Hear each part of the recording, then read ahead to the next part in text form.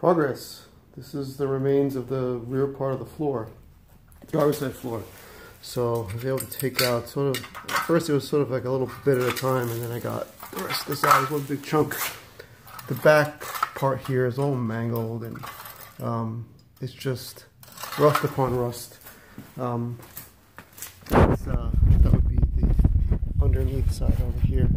Um, and, but this, you know, the whole, uh, lip over here is all disconnected up until about uh, where's my hand? Up until about here. Um, so I still have to cut away or detach all that over there and the, the heel board also. I mean sorry the uh, footboard. Heel board I'm also working on. Um, it's about three quarters off. I haven't quite figured out how this is welded together over here. Um, but it's not that far off from uh, from being detached.